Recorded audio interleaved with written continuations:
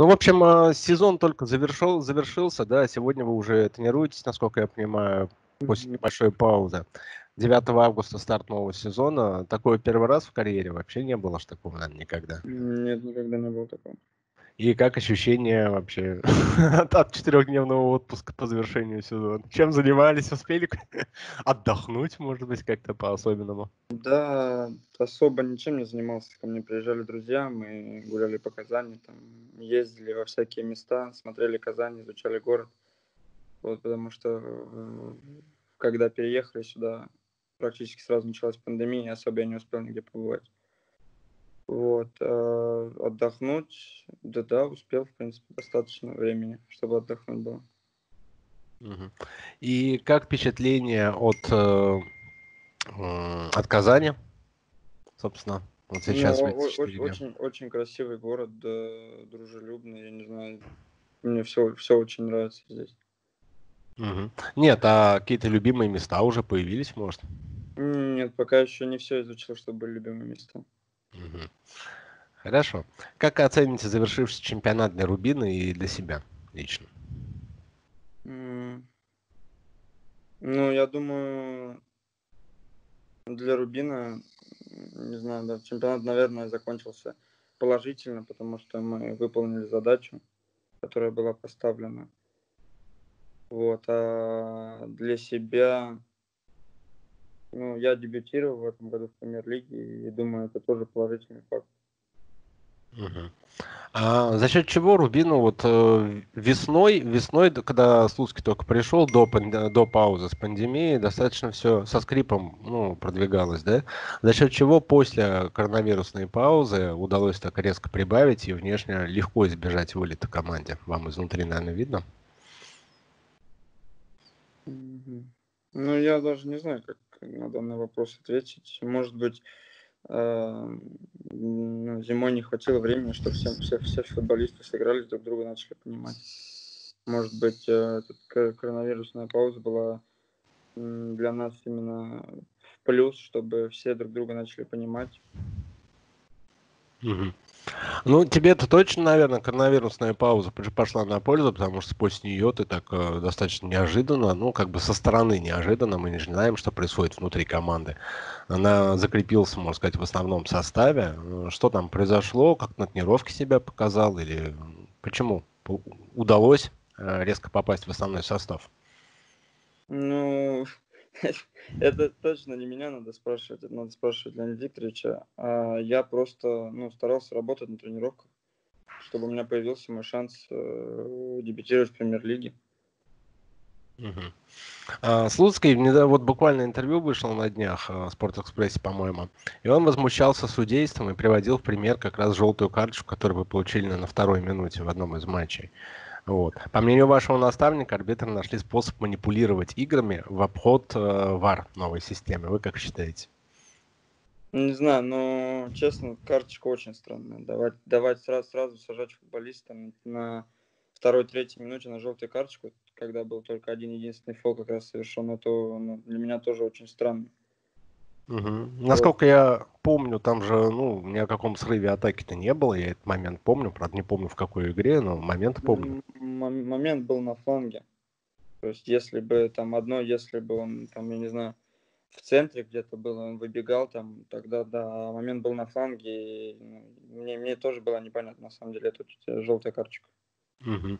А сам ВАР вообще, что думаете, насколько он полезен футболу? Ну, я Российскому. не знаю. Просто тоже, ну, не все же судьи смотрят э, тот же ВАР.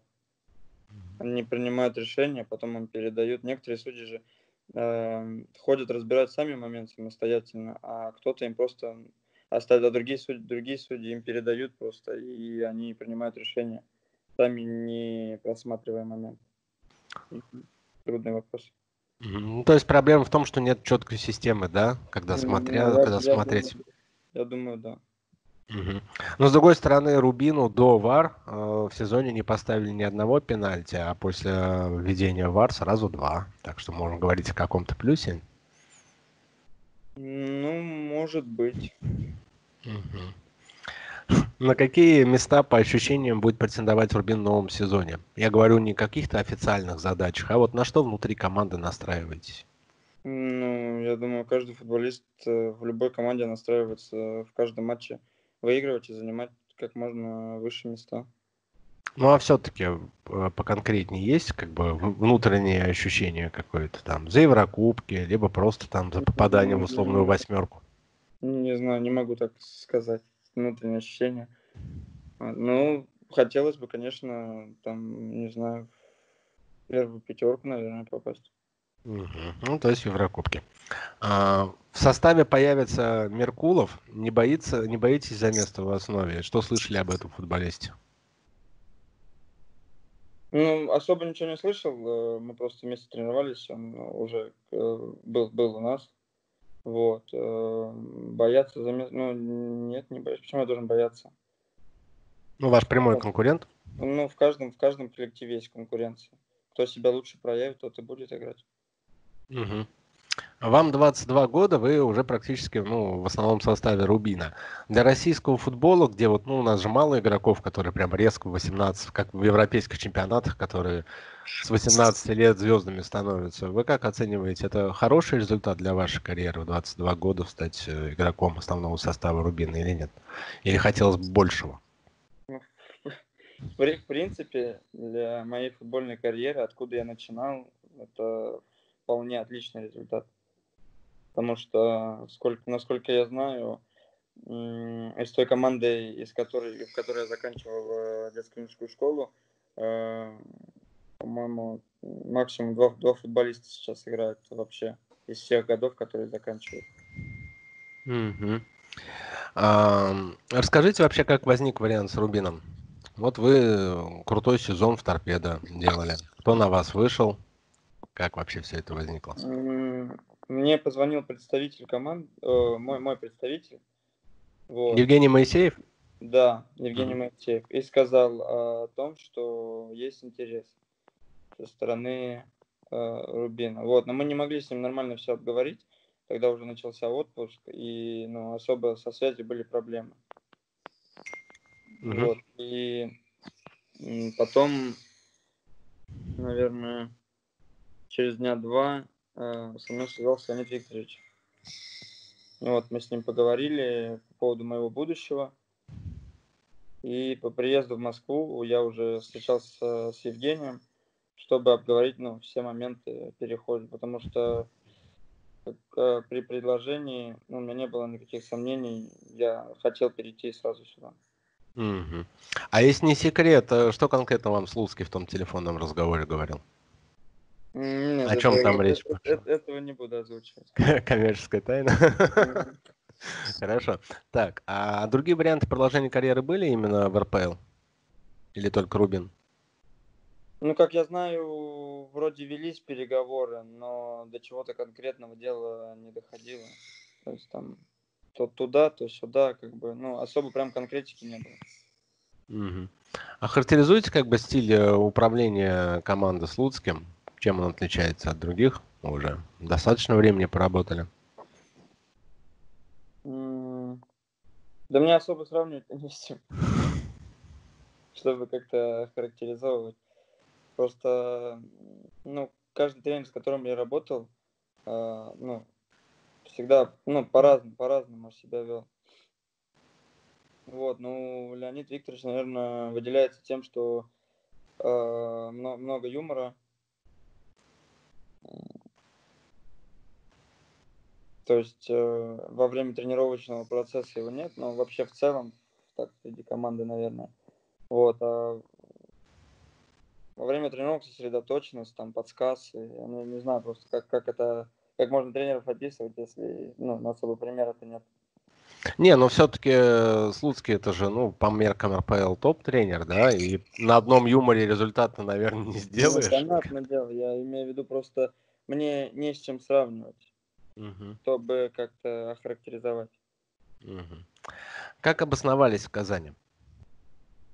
Ну, где э, квартиру снимаете, либо на базе живете? Нет, мы э, при переезде сюда я сразу снял квартиру на улице Чистопольской рядом с Акбарс Ареной. Угу. Вот. Э, и получается, ну вот как сборы закончились, э, я полетел в Москву, собрал вещи, вот, и прилетел сюда сразу в квартиру. То есть у меня уже, ну, она готова была, я сейчас вот как бы здесь проживаю. Вы в январе ведь прибыли в Казань впервые. На хоккей не успели сходить, Татнефть арена-то рядышком там все? Прибыл э, в январе, да, впервые, но на хоккей еще не успел сходить. В планах? Да, планирую сходить, конечно, обязательно. Ну, в смысле, ну, как бы следишь за хоккеем, ну, как, ну, как болельщик? Э, я больше увлекаюсь НХЛ, чем КХЛ, но на самом на хоккее никогда не был, может быть, э, сходив вживую, мне понравится и буду следить за КХЛ тоже. А в НХЛ какая любимая команда? Чикаго. Чикаго? Чикаго Блэкхокс. Понятно. А как думаешь, почему Детройт так давно не выигрывает НХЛ? Кубок Стэнли. Ну, Такая знаю. великая команда раньше была. Трудно сказать, да, но там... Я не... Знаете, э, ну, как бы ответить на этот вопрос очень трудно. Ну, потому что неизвестно, что происходит. Например, в том, в том году в НХЛ э, результаты, которые были показаны в некоторых матчах, это ну, никто не, не, не мог бы предсказать бы этот результат. А Чикаго, э, Панарин, кстати, станет, станет звездой настоящей Чикаго. Ну, понятно, что он сейчас звезда, но такой звездой, которую будут вспоминать там через 20 лет и так далее. Чикаго великий клуб. Ну, впол, впол, вполне сможет, почему нет. Угу. Хорошо, вернемся сейчас к футболу. Так, секундочка, секундочка. А вы э, один приехали в Казань или там с подругой, с женой? Я, честно говоря, не, не в курсе. С девушкой, с девушкой проживаю. С девушкой, ага. Свадьба планируется в Казани? Ну, может быть, да. У нас же эта чаша есть э, в центре да, города да, ЗАГС. Не ходили туда еще? Не примеривались? Я, я не был. Девушка с друзьями ходила, я не был. Ага, Она ходила посмотреть, а я на заезде был в этот момент. Угу, угу. Говорят, в Рубине одна из лучших баз э, в РПЛ. Как считаете? Соответствует? Опять же, вопрос такой, что из всех моих клубов, в которых я играл, база была только в одном. В котором есть база. И отличие тут э, с той базы, которая была, колоссальная, конечно. Недавно интернет взорвал э, слух, вот буквально опять же на днях, о неподобающем поведении вашего одноклубника Тарасова в самолете. Обсуждали в команде, есть тут толика правды или вообще все это выдуманная история? Ну, в команде не обсуждали, но мне кажется, это все, ну, все, все бред. Не знаю, Дима не такой, мне кажется, человек, чтобы что-то дебоширить или что он вполне спокойно ну вот э, за ним вообще какой-то шлейф таких сорви головы в соцсетях вьется. Недавно он видео было, как он перекидывал мяч через парше на фоне здания Кабмина Татарстана. А каков он в тренировочном процессе вот так повседневном общении? В тренировочном процессе он ну, сосредоточен и работает на каждом отрезке поля. Как бы, ну, без шуток, без всего, всегда, всегда в работе, всегда в деле. А повседневном не, общении? Ага. Не поле. Ну, обычный веселый человек, можно пообщаться, там, спросить совета или еще что-то. Угу. А кто сейчас лидер раздевалки в Рубине? Не на поле, а в раздевалке?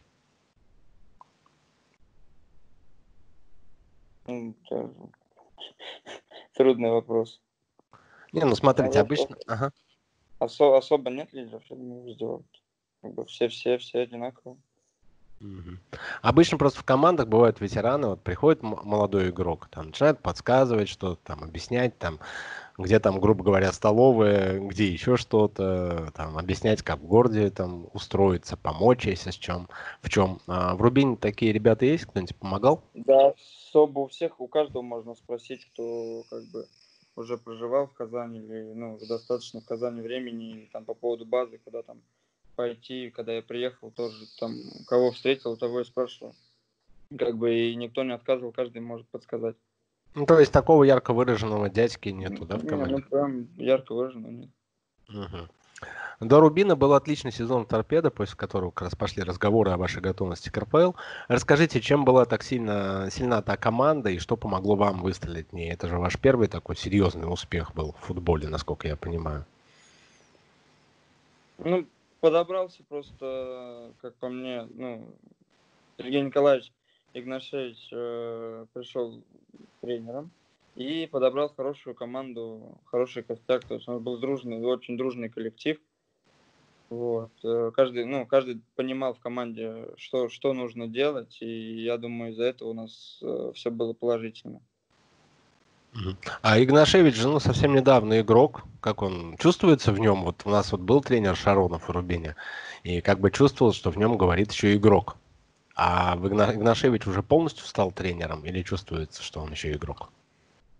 Да, я думаю, ну, он, он уже тренер. Как бы, и он сам говорил то, что он уже тренер.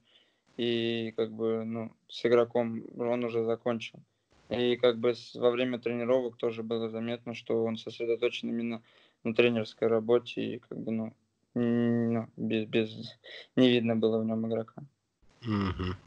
А вот бывшие игроки, вообще, которые только, только, только стали тренером, они часто говорят о своих заслугах игровских. Ну, там, вот, там, я там в финале э, Кубка УЕФА там в такой-то момент так сыграл. Там, вот такие моменты были в его установках? Нет, ни разу Сергей Николаевич не слышал такого. Угу, хорошо. А, при этом вы могли дебютировать в РПЛ и раньше, у вас был контракт с Оренбургом, который пришлось разорвать. Вы сами говорили то, что из-за того, что а, вас просили переписаться на Трабуке. Можете рассказать про это нам тоже подробненько? Там ситуация была такая, что я поехал на последний сбор с Оренбургом. Вот, э, меня пригласил э, главный тренер команды. Я тренировался, получается, все сборы 10-дневные. И, получается, за день до вылета уже в Москву или ну, в Москву за вещами и планировалось в Оренбург. Вот. Я встретился с таким человеком, как Трабуки. Он приехал, прилетел на сбор, и он подошел ко мне как бы с той фразой о том, что если, если ты переходишь сюда, э, ты должен работать со мной. Ну, то есть, как бы я должен быть твоим представителем. Э, на что я ему сразу же отказал, сказал, что у меня есть представитель, и получилось так, что он, ну вот, вот, вот как получилось, как говорится. Угу. В Оренбург я не попал. Ну а вообще, э, как бы, ну обычно это же довольно распространенная практика, я правильно понимаю, в футболе? Ну что у многих команд есть как бы свои агенты, которые стараются эту команду всю под себя забрать. Есть такое же или нет? Не знаю, особо как бы не заморачиваюсь этим. Есть там представители какого-то клуба, нету. Я Э, ну, мое, мое дело же, ну, тренироваться, расти как футболист, развиваться. А, ну, все, что там в клубе связано, это же, ну, не, не я же должен это обсуждать или изучать, правильно? Угу, правильно. И такой момент, я просто к чему веду. Обычно молодые игроки, насколько я знаю, вот на такие требования они, ну, соглашаются. Ну, боятся потерять свой шанс и так далее. Вот. А вы почему решились отказать? И как так вот? Ну, Я... э, просто для меня это, знаете, не по-человечески, когда ты работаешь с одним человеком долгое количество времени, и потом из-за, на тот момент, можно сказать, э, более выгодного предложения, я имею в виду по поводу клуба, где я был и куда я мог перейти, сразу, ну, там, я не знаю, кидать, что ли, человека, так что, ну, это не, не, ну, я так не смогу, у меня так не получится, я не, ну, я вырос, вырос не так. Угу. А вообще говорят то, что Оренбург фарм-клуб Зенита. Изнутри это как-то чувствуется, нет? Вы же там да, какое-то время провели. Особо. Я, да, да, я даже не замечал этого Хорошо. Так, а, ну теперь расскажите, как вообще оказались в футболе, кто привел, и в каком возрасте как бы уже решили, что это серьезно, профессионально, а не просто увлечение. Угу. В футболе оказался по своей инициативе. То есть, э, когда мне было, наверное, года четыре, мне просто нравилось э, выходить на улицу, там, пинать мяч, там, там, с друзьями, со всеми. Вот, и ближе, наверное, к 7 годам, я попросил родителей, чтобы меня отвели э, в школу, которая, ну, футбольную школу, которая находилась прямо рядом с домом. Mm-hmm. Так, вот. Э, школа называется Приолит. Я сам Треутова, и школа там вот прям в городе есть. И вот э, там проходил просмотр для игроков моего года. И меня взяли туда. Э, по поводу профессионального футбола, я даже не знаю. Мне кажется, на тот момент, когда я закончил школу, ну просто там такая школа, что она вообще не просматривается. Как бы попасть куда-то очень трудно только за счет турниров. Угу. Вот. И получается, я закончил школу, выпустился и играл еще два года там в ФК. Потом вот э, мне поступило предложение от э, одной команды, которая должна была заявляться в ПФЛ. Вот, Илья, у тебя немножко потише тебя стало слышно. Э, сделай там что-то. Да, что да, я понял. Вот. И я попал и в команду, которая должна была заявиться в ПФЛ. Получается, полгода было до начала чемпионата где-то. Вот, я с ними тренировался. И получается, вот прям под начало чемпионата там так, такой инцидент произошел неприятный особо. И вот после этого на меня вышел Евгений и позвал меня тогда только создавшуюся, получается, команду Арарат ПФЛ. Вот, и так началась моя профессиональная карьера. Угу. Арарат, кстати, интересный клуб. Были же ну, серьезные планы. Я помню, как он становление было, там, вплоть, не до, вплоть до выхода в РПЛ они там все планировали. Почему в итоге команда загнулась? Ну, сказать по какой причине так, так решил руководство, я не могу, потому что нас просто поставили перед фактом и все то, что ФНЛ не будет, там, будет, будет другой вариант и все. И ну, никому, ну, я лично не знаю, почему так получилось. Ну, вообще, команда на тот момент, когда еще все было хорошо и интересное было, тебе там было комфортно или как? Ну, у нас по, для команды ПФЛ, для моей первой профессиональной команды были собраны люди, такие как Роман Павлюченко, Марат Измайлов, там, Игорь Лебеденко – Алексей Рябко. То есть, э, ну, так, такой коллектив для, мне кажется, для уровня ПФЛ очень, очень сильный. Как бы так и получилось, мы не, про, ну, не проиграли ни одного матча, кроме последнего. Угу. А какие-нибудь интересные истории были вот в общении вот с этими звездами? Ну, реально же Павлюченко звезда, там Тоттенхэм играл в том же, да? Как-то общались? Эти забавные эпизоды вспомни? Да, особо, я думаю, как бы, ну, я-то особо ну, не находился с ними. Ну, я с ними общался, но э, как, как, как бы это сказать-то? Ну, вместе время не проводил, чтобы слушать какие-то истории, потому что я был еще вообще прям молодой, сколько мне было, лет 19, наверное. Вот, а так, э, там, мне они подсказывали, мне они помогали. Угу. Звездняк чувствовался в них? Нет. Ничего нет? Угу.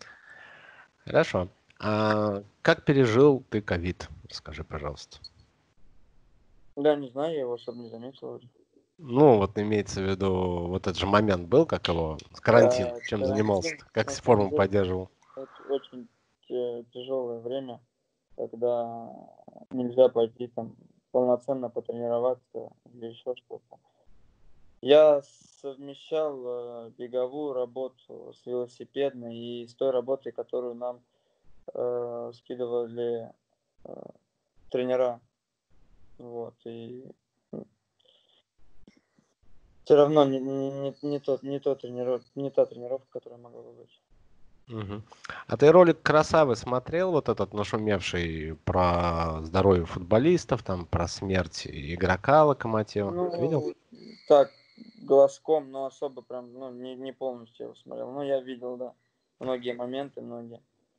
А вот, э, ну ты же, опять же, уже на дне российского футбола побывал, в ПФЛ там и так далее. Вообще то, то, о чем он говорит, это есть такое, нет? Ну, рисованные медосмотры, там вот это вот все. Нет, в каждом клубе, в котором я был, э, как бы там каждые полгода был медосмотр. А, если нужно было, тебя отправляли в больницу, там, если у тебя какая-то серьезная травма на МРТ, на УЗИ, То есть я, наверное, к лучшему не сталкивался с таким. Угу. То есть это вряд ли носит такой прям массовый характер, как говорит Красава. Ну, думаю, вряд ли массовый, как бы, там, некоторые клубы, может быть, да, есть такое, но там, где был я, ну, такого не было. Угу. А, чем увлекаетесь по, помимо футбола? Да, особых увлечений вроде нет. Ну, там, я не знаю, игры. Так, э, могу там после тренировки, например, прийти домой, там, сесть там, не знаю, ну, за компьютер, там, поиграть во что-нибудь, а так особо. А во что? Ну, чаще в Counter-Strike, наверное. Почему, кстати, все спортсмены играют в стрелялки? Почти все, либо в симуляторы футбола, хоккея. Не знаю, честно. Вот я совмещаю, получается, менеджера и стрелялки. Менеджера какого менеджера? Футбольный менеджер? Футболь, футбольный менеджер, да. И как успехи? Я тоже поигрываю в эту игру. Ну, пока, пока только обучаемся. А, только начал. Да. С 20-го менеджера? Да. Ну, не, не для интервью, рекомендую 15-й попробовать, он самый четкий на самом деле. Хорошо. Э, так, а, хорошо. Значит, Counter-Strike, футбольный менеджер. Хороший разброс такой получается по увлечению. А из музыки что предпочитаешь? Да, я особо ну, не выбираю. То, что понравится, то я добавляю. Но максимум, э, что я не могу слушать, это, наверное, рок в, любом исполнении. То есть тяжелый, не тяжелый, без разницы. Наверное, поэтому ты появился в Рубине после ухода Романа Шаронова, да? Не знаю. Он же у нас главный рокер в Рубине. Я, я не могу слушать такую музыку. А почему? Не знаю, но вот э, как-то пару раз послушал. Мне не, вообще никак не зацепило, не понравилось. И, ну, и все, с того момента больше не слушал. Угу. А книги вообще не читаем? Ну вот, э, с книгами сейчас проблема, но вот планирую начать. Мне подарили пару книг, вот хочу начать читать потихоньку. А если не секрет, какие книги подарили? Ой, я сейчас вам не скажу. Они у меня в другой комнате лежат, я вам потом э, смс Напишите, да, да, да, я вставлю в интервью. Хорошо. А какие предпочтения в еде? В еде? Да, особо нет предпочтений. Я, я ем все. У меня нету нелюбимой еды, любимой еды. То есть, как бы я не выбираю. Главное закинуть э, в топку, да, дров? Ну, гла- главное мясо покушать, а остальное как бы. Угу. А татарскую кухню уже пробовал, там, и чпачмайки, чак-чак? Чак-чак пробовал, да, и чпачмак еще нет. Планирую угу. покушать. А и больше ничего из татарской еды пока не ел? Mm-mm. И как тебе чак-чак? Да вкусно. Как, как бы, вкусно. Как, как десерт в отпуск себе на родину чак-чак прихватишь? А я уже возил. Когда возил? Зимой, зимой, когда приезжал, когда домой вылетали, я покупал себе домой семье чак-чак. И как семья отреагировала на это дело? А у меня брат младший любит очень чак-чак. Мы уже привозили, поэтому он со, с радостью заточил его. Так, э, что-то еще хотел спросить. А, насчет родителей. Вот на, бывает же, то, что родители, ну, когда непонятно еще, что сын серьезно занимается футболом, говорит там, бросай это дело, надо учиться там и так далее, ты себе жизнь сломаешь. Не было такого? Нет, э, никогда не было проблем с этим. То есть э, у меня были проблемы с учебой из-за того, что ну, я не желал учиться, мне больше нравился, например, футбол или еще что-то. Но да, меня ругали за плохие там оценки, там, за прогулы или еще за что-то, но никогда не было такого, что мне говорили, все, заканчивай с футболом или так далее. Угу. Ладно, я спасибо за интервью, удачного сезона. Держим спасибо. тебя за кулаки, победы Рубину, всего хорошего, спасибо. Спасибо большое. Угу.